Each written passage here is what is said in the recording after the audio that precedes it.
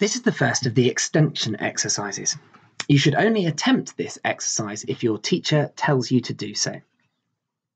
If you've managed to get this simple traffic light system up and running, congratulations. This is a much more challenging exercise.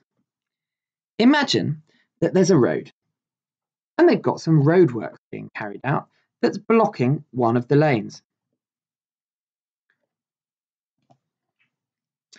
You need to design a system of traffic lights for the traffic at each end of the roadworks to make sure that they can navigate through the one lane safely without crashing into each other.